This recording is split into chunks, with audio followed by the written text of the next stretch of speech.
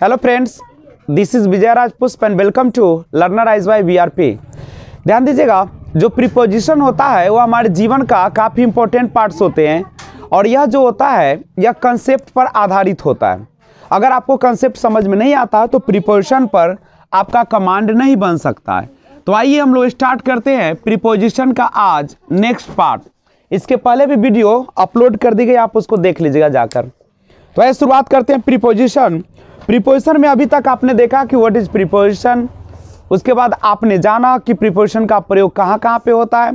Preposition का उपयोग object के रूप में सब्जेक्ट के रूप में या किस रूप में होता है यह भी आपने पढ़ा। तो आज हम लोग जान जानते हैं यूज़ ऑफ़ प्रीपोजिशन तो आज ये देखेंगे कि आखिर रियल में प्रीपोजिशन का प्रयोग कहाँ पे होता है। ठीक है? तो हम लोग यूज़ ऑफ़ प्रीपोजिशन देखेंगे आज। जनरली प्रीपोजिशन का जो यूज़ होता है, वह पाँच प्रकार से किया जाता है। और वह होता है, अगर सबसे पहले आप बताते हैं लोकेशन लोकेशन का मतलब क्या स्थिति। दूसरा हम लोग यूज़ करते हैं इसका डायरेक्शन के लिए, दिशा को बताने के लिए। दिशा आपको पता है ईस्ट वेस्ट नॉर्थ साउथ नहीं। उसके बाद हम लोग प्रेपोजिशन का प्रयोग टाइम को बताने के लिए भी करते हैं। और उसके बाद वर्ब, जब आप वर्ब को बताना हो तो उसके लिए भी हम इसका प्रयोग करते हैं। और पांचवा और अंतिम इसका जो यूज़ होता है, वह होता है स्पेशियल यानी स्थान से संबंधित रिलेशन बताने के लिए। करेक्ट है? तो स्थान से संबंधित अगर आपको रिलेशन बताना हो तो उसके लिए भी हम प्रिपोजिशन का प्रयोग करेंगे। तो आइए हम लोग एक एक करके देखते हैं कि आखिर लोकेशन में कौन सा प्रिपोजिशन आएगा डायरेक्शन में कौन सा आएगा, और टाइम के लिए कौन आएगा वर्ब के लिए और स्पेशल रिलेशन के लिए कौन कौन से आएँगे। तो देखते हैं पहले इसको। तो ध्यान दीजिए लोकेशन से रिलेटेड जो प्रिपोजिशन होते हैं, उसमें आते हैं इन का प्रयोग किया जाता है ऑन का प्रयोग किया जाता है और प्रयोग किया जाता है आपका एट का प्रयोग किया जाता है। ये तीन जो है, आपको लोकेशन को बताता है। लोकेशन का मतलब किसी भी स्थिति को बताता है। डायरेक्शन को बताने के लिए, दिशा को बताने के लिए, हम लोग प्रयोग करते हैं इन का इनटू का ऑन का, उसके बाद ऑन टू का प्रयोग करते हैं टू का प्रयोग करते हैं, और टुवार्ड्स का प्रयोग करते हैं, यानी टुवार्ड का प्रयोग करते हैं। टाइम को बताने के लिए जनरली हम लोग जो यूज़ करते हैं, इन का, ऑन का एट का, और उसके बाद, और विदिन का प्रयोग किया जाता है, बाई का, फॉर का, उसके बाद सिंस, ड्यूरिंग ड्यूरिंग का प्रयोग करते हैं, उसके बाद आप फ्रॉम का भी प्रयोग करते हैं, और फ्रॉम के साथ टू का भी प्रयोग किया जाता है। वर्ब के रूप में आप जो यूज़ करते हैं एट का प्रयोग, उसके बाद होता है आपका, विद का प्रयोग करते हैं, ऑफ़ का और अबाउट का प्रयोग करते हैं। स्पेस बताने के लिए, स्पेस यानी स्थान को बताने के लिए जो हम लोग यूज़ करते हैं, उसमें आता है आपका अराउंड का प्रयोग, उसके बाद अलोंग का प्रयोग करते हैं, विदिन का प्रयोग करते हैं और उसके बाद अगेंस्ट का प्रयोग भी किया जाता है। Against out of across through अब उसके बाद अंडर बीनीथ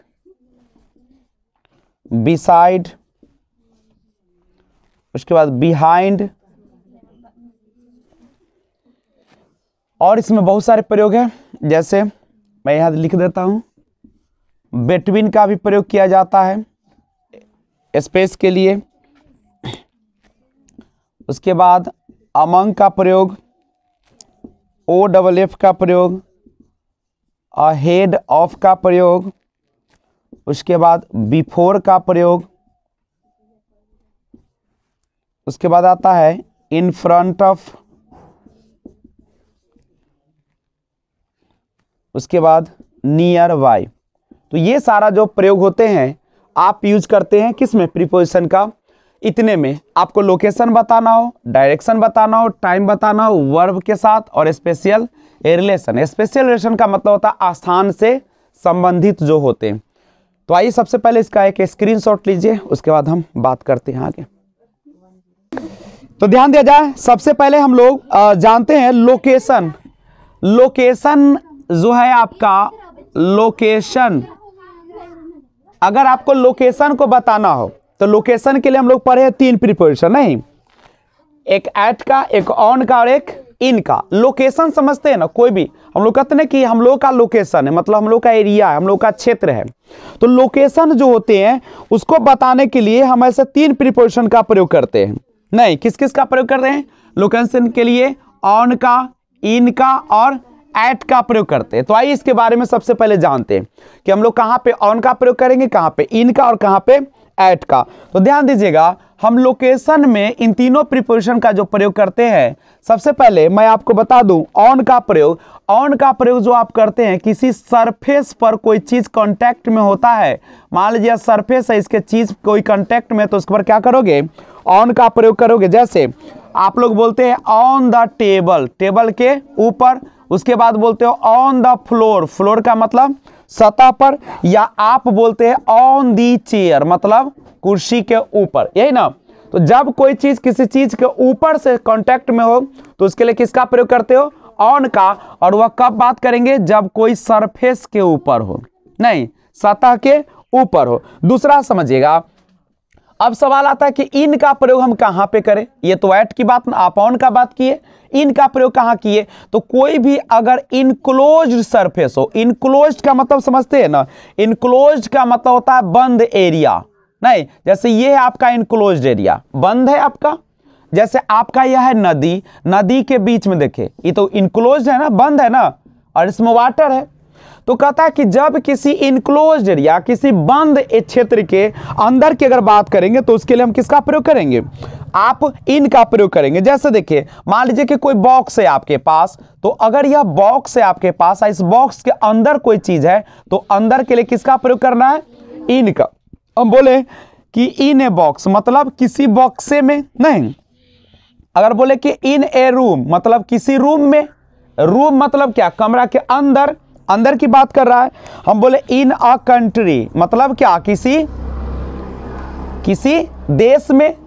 तो एक बात समझिए, जब भी आपका कोई बिल्डिंग हो ना और उसके अंदर की अगर बात किया जाए तो उसके लिए हम क्या करेंगे? इन का प्रयोग करेंगे। उसके अंदर हो तब। नहीं। और अगर आपको, जैसे मान लीजिए कि स्कूल की हम बात करते हैं तो स्कूल तो एक फिक्स प्लेस है। स्कूल क्या आपका? फिक्स है ना? पूरा स्कूल का मतलब पूरा बिल्डिंग का ना बात कर रहा है। तो वहाँ पे आप एट का प्रयोग करें जब पूरे बात करेंगे ना, पूरा पूरे एरिया का अगर बात करेंगे तो वहाँ पे एट का प्रयोग करेंगे, लेकिन इस स्कूल के अंदर मान लें कि हम ऑफ़िस की बात कर रहे हैं। हम बोले कि स्कूल के अंदर ऑफ़िस है तो वहाँ पे बोलना पड़ेगा इन नहीं इन ऑफ़िस नहीं, लेकिन हम केवल ऑफ़िस की बात करेंगे तो एट ऑफ़िस हो जाएगा।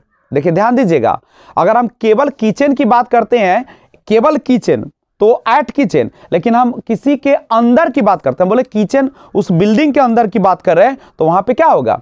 इन का प्रयोग सिंपल सा। मान लीजिए कि कोई मछली अगर वाटर के अंदर है तो उसके लिए हम किसका प्रयोग करेंगे? इन का। नहीं, आप क्लास में तो इन क्लास नहीं तो कोई भी चीज़ के अगर अंदर वो घेरा हुआ हो, और उसके अंदर कहीं भी हो, निश्चित नहीं होता है। आप कहें, जैसे इस क्लास है तो इस क्लास में आप कहीं भी रहे, आप हमेशा क्या कहलाएँगे? इन आप बोलते ना कि मे आई कम इन कम इन इन माने आप प्रवेश करना भी है। कोई चीज़ के अंदर प्रवेश करना। लेकिन वही मोशन होगा तो फिर इंटू होगा, जो आगे देखेंगे हम लोग। तो इनक्लोज एरिया होगा तो उसके लिए हम किसका प्रयोग करेंगे? इन का प्रयोग करेंगे। लेकिन अगर आपको पॉइंट बताना हो पॉइंट का मतलब जैसे मैंने कहा था कि स्कूल स्कूल एक हमारा पॉइंट है। ऑफ़िस ऑफ़िस हमारा एक पॉइंट है। रेलवे स्टेशन रेलवे स्टेशन हमारा क्या एक? पॉइंट है, चौराहा। चौराहा मेरा एक पॉइंट है। नहीं है। तो नियर उस बस स्टॉप जो है आपका बस स्टॉप भी तो एक पॉइंट है।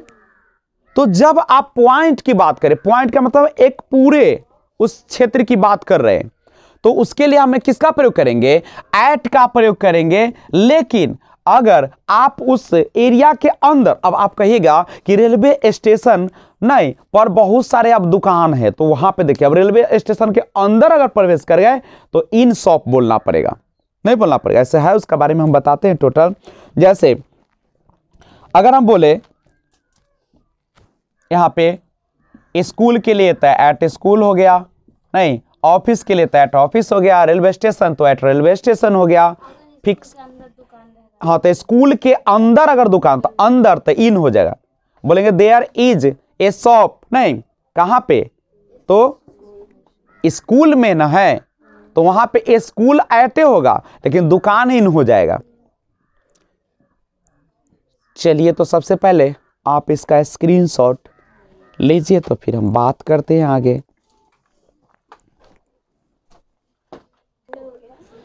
तो आइए हम लोग एट और इन के बीच के एक अंतर को देखते हैं। एट और इन ध्यान दीजिए। बच्चे लोग, ध्यान दीजिए बोर्ड पर।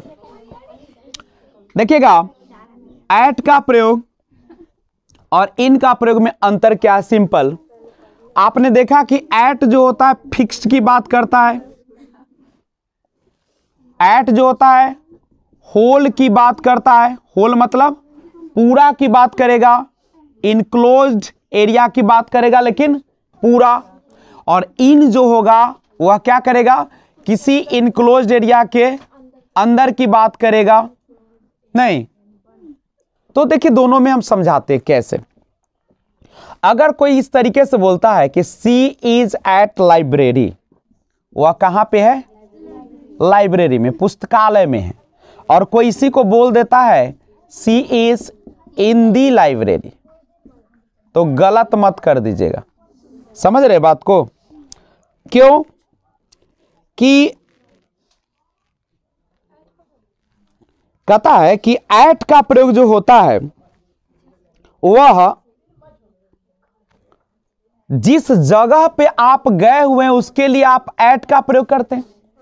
आप कहाँ गए हैं? लाइब्रेरी तो जिस जगह पे आप गए हुए हैं, वह आपके लिए क्या होता है? एट होता है। नहीं, लेकिन आप जिस बिल्डिंग के अंदर गए हुए हैं उसके लिए किसका प्रयोग होता है?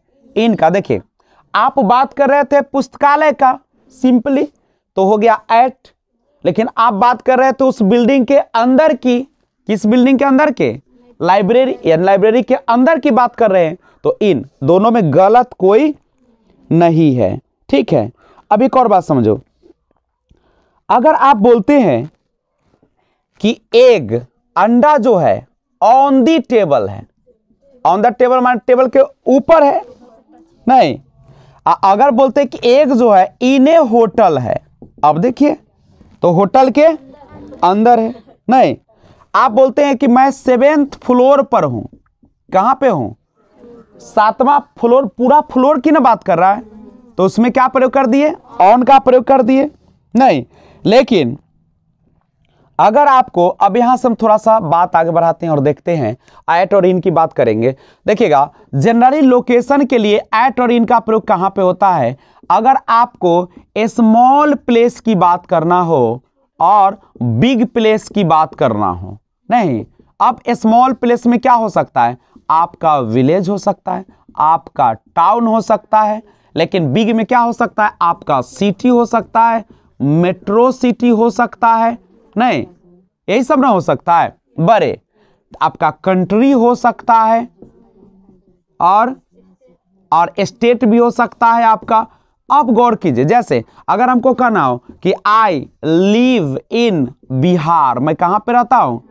अब यहाँ पे रहता है कि आई लिव एट बहसी अब यहाँ पे देखो बहसी तो गाँव का नाम हो गया तो यहाँ पे क्या हो जाएगा? बहसी चौक भी हो सकता है यही ना होगा। लेकिन ऐसे भी तो हो सकता है कि आई लिव नहीं। बहसी चौक बहसी चौक चौक नहीं बांसी चौक। ठीक है आई लिव बहसी चौक, वैशाली, या ऐसे करिए, इसको भी काटिए। I live Vaishali. बिहार। अब गौर करो। अब यहाँ पे गौर कीजिए, यहाँ पे, अब यहाँ वैशाली तो डिस्ट्रिक्ट है तो इसके साथ इन वैशाली होना चाहिए और बिहार के साथ भी इन बिहार होना चाहिए। लेकिन जब बड़ा के सामने छोटा आ जाए, तब हम सब चीज़ को भूलकर और छोटे के अनुसार एट और बड़े के अनुसार इन जैसे मान लीजिए कि है पिता और इसका कौन है ये? पुत्र, आ इस पुत्र का फिर पुत्र हो गया। तब तो ये फिर क्या बन गया? पिता बन गया। नहीं, इसका मतलब है कि जो आपका कभी कभी एट जो होता है, इन जो है, वह क्या कर लेता है? यानी एट जिसमें लगना चाहिए था, इन, वह भी कभी कभी एट को ग्रहण कर लेता है। कब? जब छोटा हो जाए तब। जैसे, अगर हम बसंतपुर की बात करते और इसमें काली स्थान आ गया। नहीं तो आप सोचिए तो हम बसंतपुर और काली स्थान तो काली स्थान छोटा है एट काली स्थान और कहाँ पे? बसंतपुर, इन बसंतपुर। तो इस तरीके से याद रखना पड़ेगा। यानी कहने का अर्थ है कि जब बड़ा छोटा दोनों मौजूद हो जाए, नहीं तो सारा रूल ब्रोकन करेगा, और जो दोनों में छोटा होगा, उसमें एट और बड़ा वाला में इन बस इतने। जैसे अगर भारत है और फिर आपका कंटिनेंट की बात हो जाएगा एशिया कंटिनेंट तो अब पूरे भारत में क्या लग जाएगा? एट लगेगा और एशिया कंटिनेंट में इन लगेगा। समझे? अगर समझ गए तो स्क्रीनशॉट ले लीजिए। तो आइए देखिए। ध्यान दिया जाए। आइए अब हम थोड़ा सा लिस्ट के माध्यम से देखेंगे कि एट का प्रयोग किस चीज़ के लिए किया जाएगा? पॉइंट के लिए।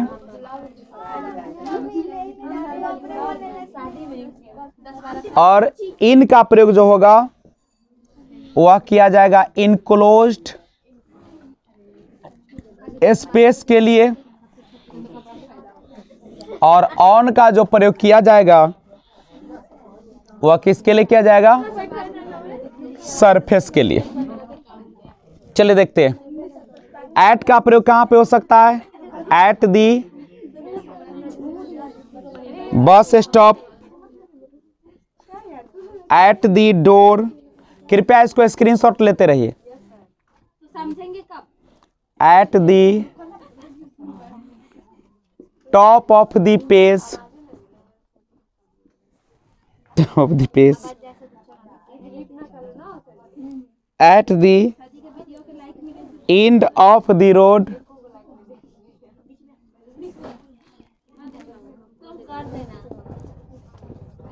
at the entrance.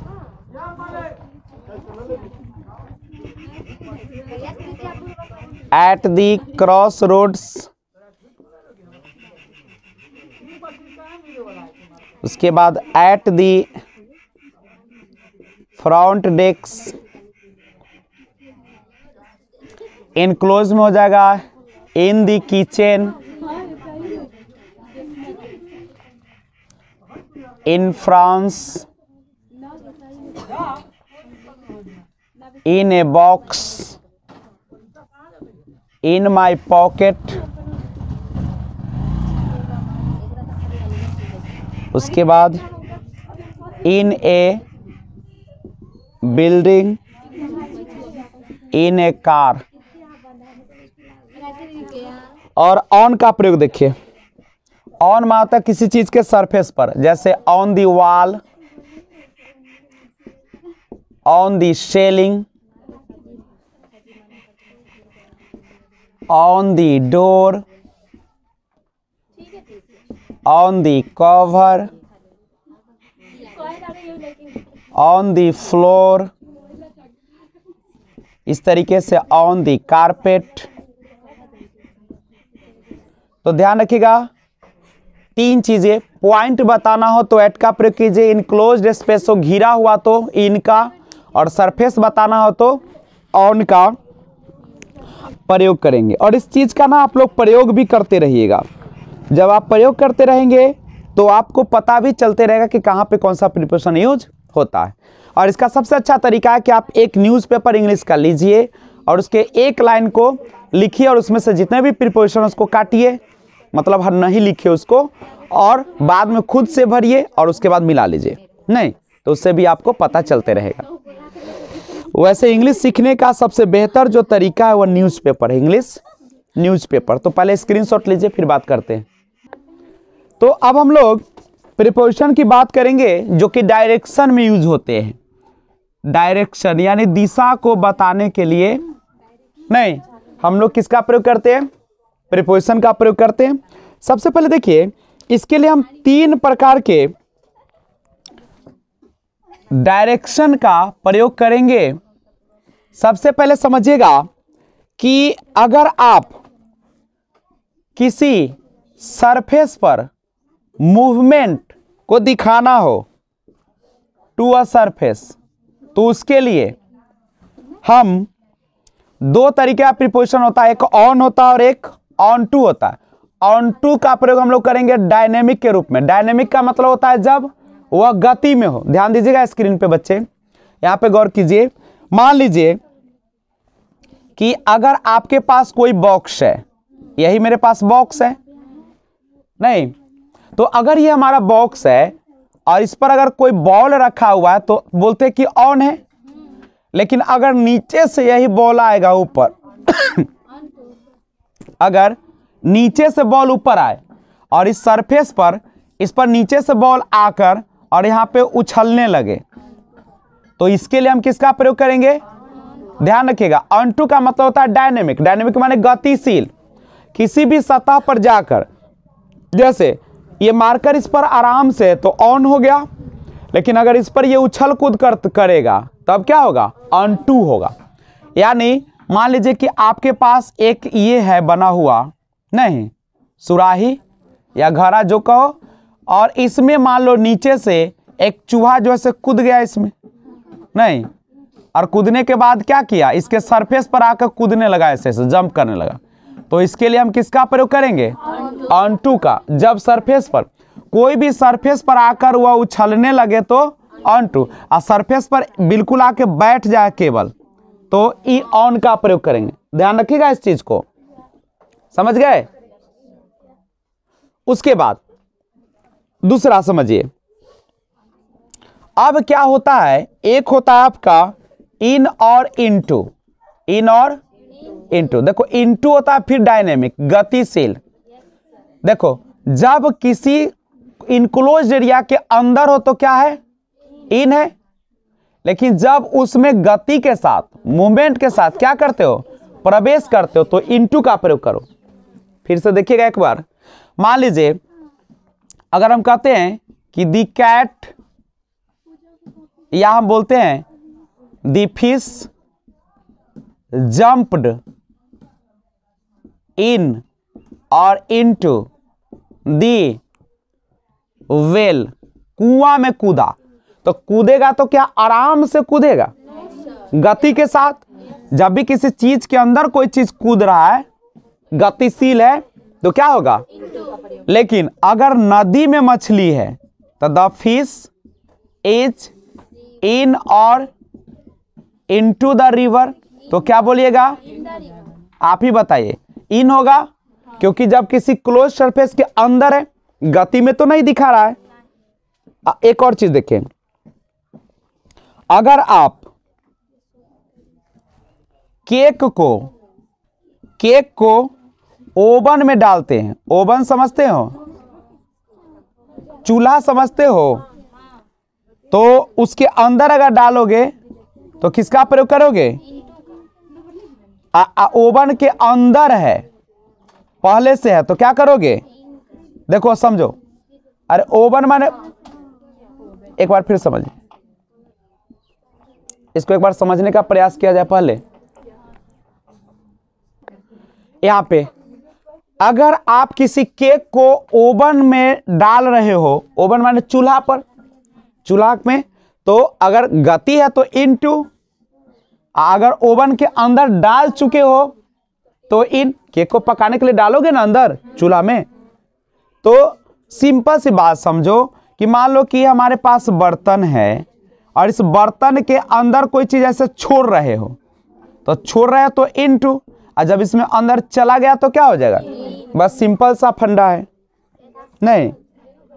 अब एक चीज़ और है, अगर आपको डेस्टिनेशन बताना हो तो उसके लिए टू या टुवार्ड का प्रयोग किया जाता है।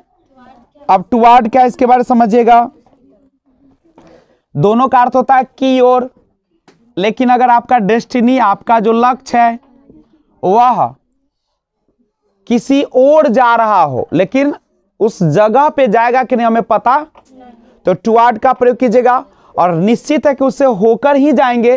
तो टू जैसे अगर हमको कहना हो कि आई गो टू पटना इसका मतलब मैं पटना होकर जाऊँगा।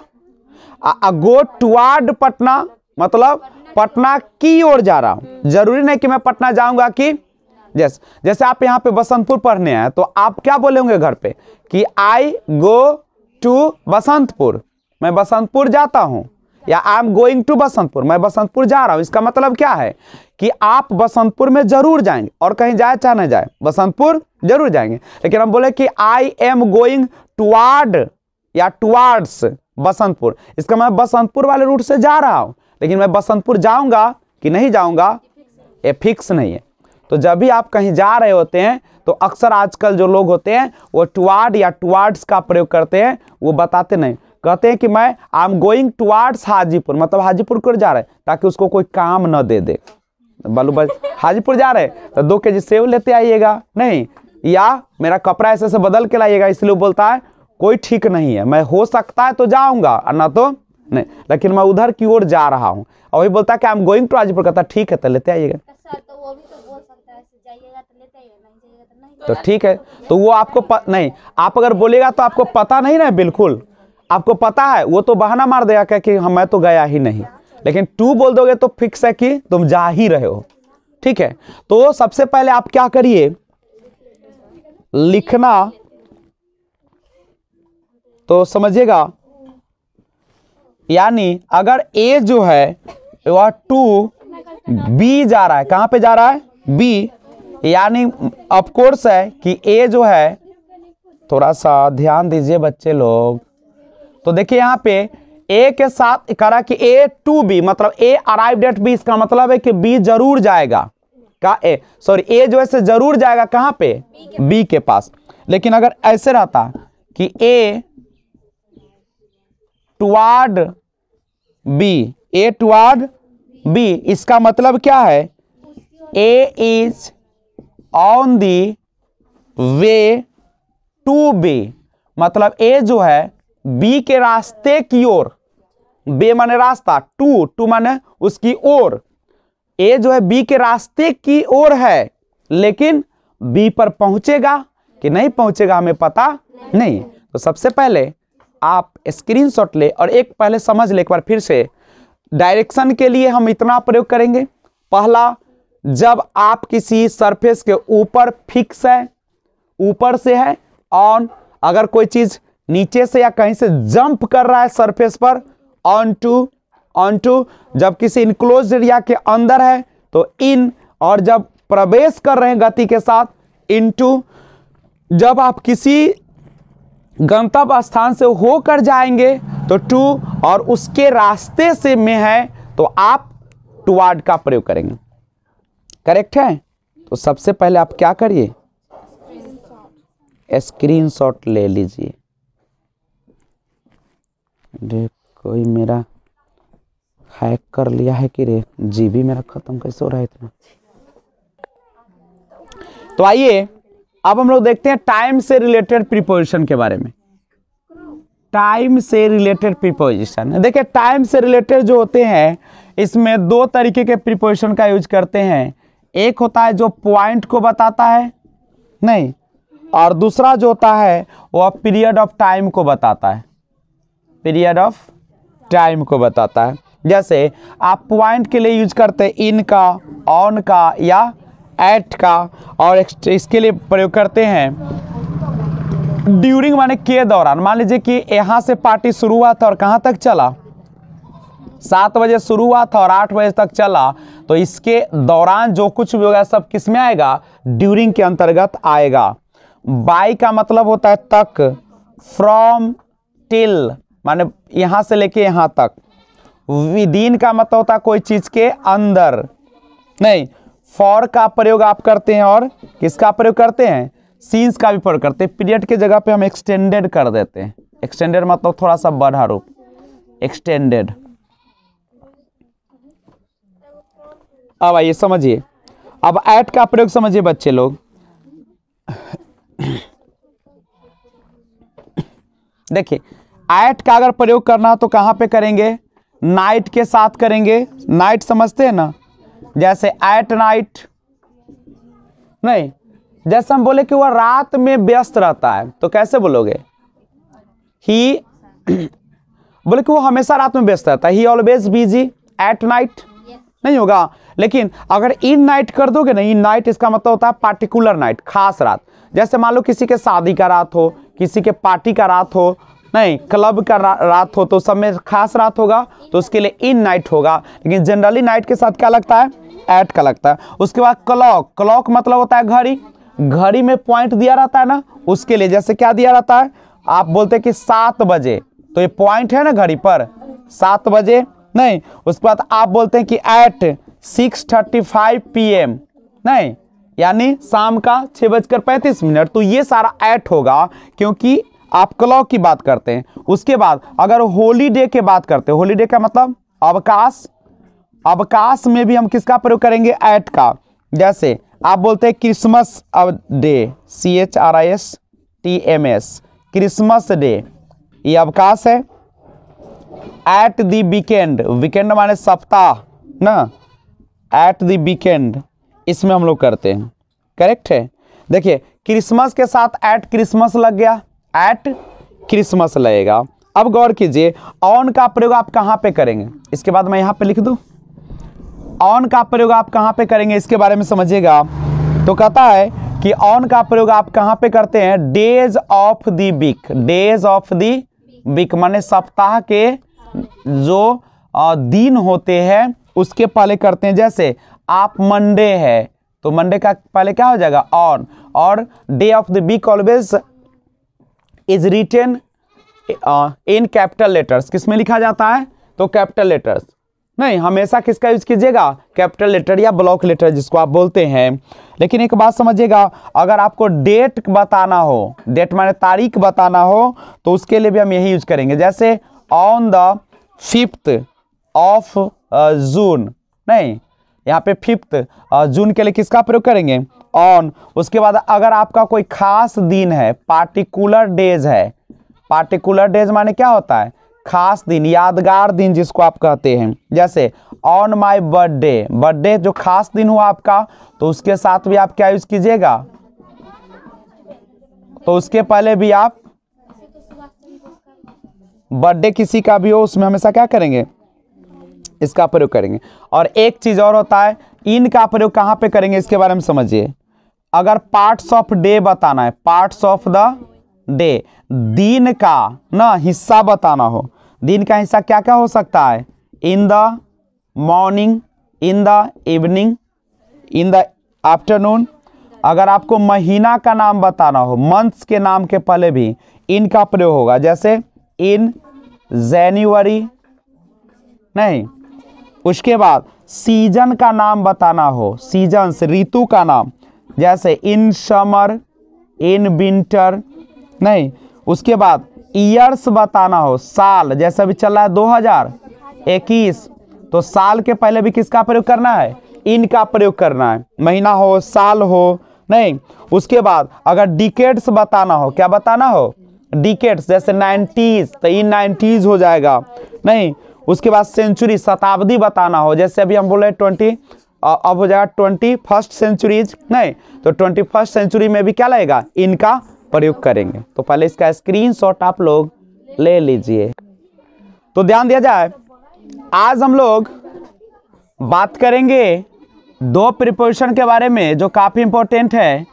एक है बेटवीन और दूसरा होता है अमंग देखिए, वैसे तो एक और लोग प्रयोग करते हैं। इन बिटवीन का भी प्रयोग करते हैं।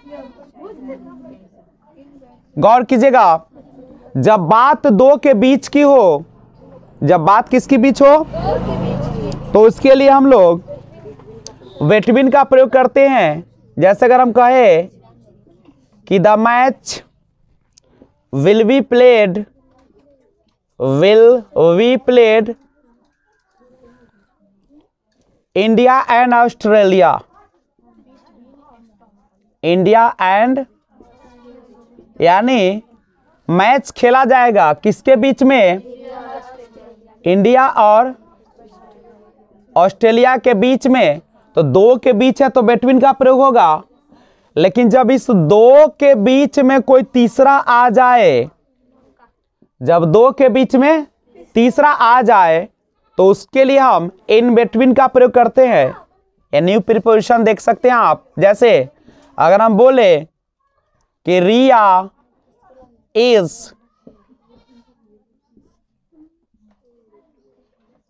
जिया and Tiya.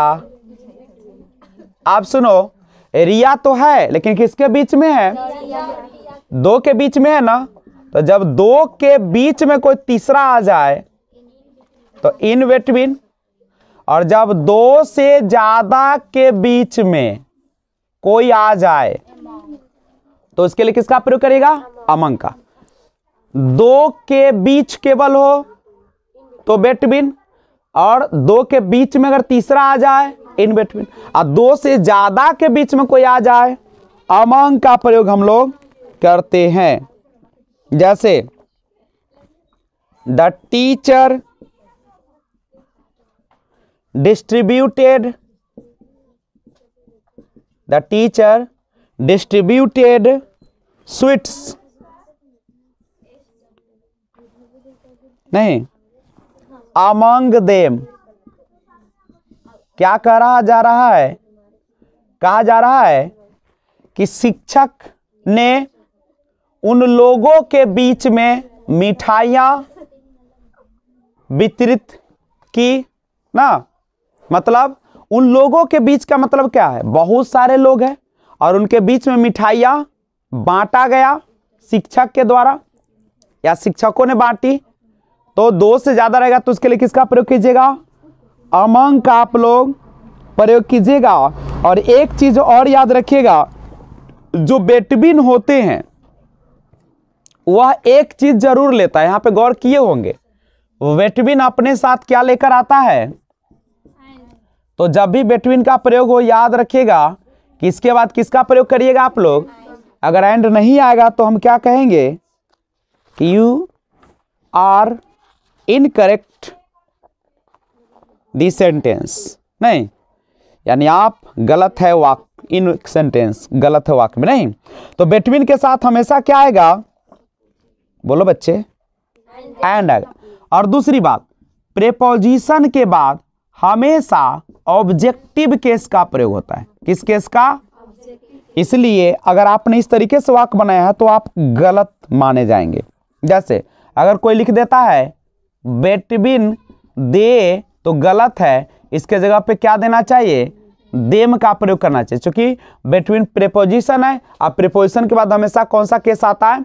Objective objective case में कौन आता है पता है आपको? आई का ऑब्जेक्टिव केस मी वी का अस यू का यू ही का हिम सी का हर नहीं.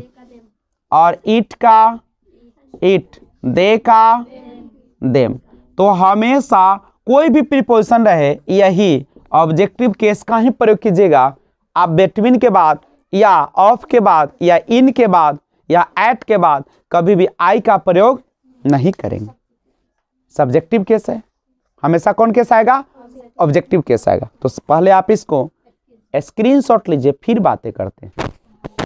तो ये है कुछ फिक्स प्रीपोजिशन आपको नज़र आ रहा होगा। देखिए, सबसे पहले आप एक जो लिखा गया, उसको आप लिखिएगा। उसके बाद इसको नोट करिएगा और उसके बाद लास्ट में इसको नोट कीजिएगा। ठीक है? मैं एक बार पढ़ देता हूँ। अवरेंस ऑफ़ अवरेंस टू ये मैं पढ़ा रहा हूँ जो कि फिक्स प्रिपोजिशन है।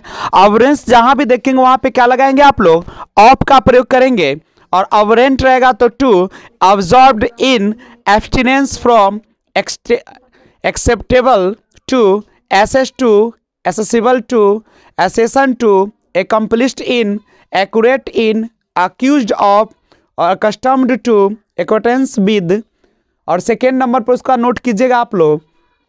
Acquainted with acute of adapted to addicted to adjacent to affable to affection for affectionate to afflicted with afraid of agreeable to agree with someone जब कोई व्यक्ति हो तो एग्री के साथ विद प्रयोग कीजिएगा, और जब कोई चीज़ हो तो अग्री टू कीजिएगा। Akin to alarmed at alien to allegiance to alliance with और थर्ड नंबर में उसका नोट कीजिएगा alternative to ambition for amenable to analogous to तो ये था आज का क्लास काफ़ी इंपॉर्टेंट क्लास जो कि प्रिपोजिशन के बारे में काफ़ी जानकारी दी गई। मैं आशा करता हूँ कि आपको वीडियो अच्छा लगा होगा। तो देर किस बात की है? लाइक बटन दिख रहा है आपको। नीचे उस लाइक पर लाइक कर दीजिए और नए व्यूवर्स तो इस चैनल को सब्सक्राइब कर दीजिए। और बेल आइकन को ऑल पे प्रेस कीजिए, जिससे जब भी वीडियो अपलोड करूँ, सबसे पहले आपको नोटिफिकेशन मिले। तो मिलते हैं फिर एक और बेहतरीन क्लास के साथ। तब तक take care bye bye be enjoy thanks for watching